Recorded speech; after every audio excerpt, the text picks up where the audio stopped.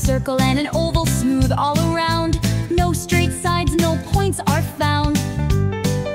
A triangle has three straight sides, three sharp points where they collide. A square stands tall with four equal sides, four vertices straight and wide. A rectangle looks much the same, but two sides long, it's in the name. A pentagon has five straight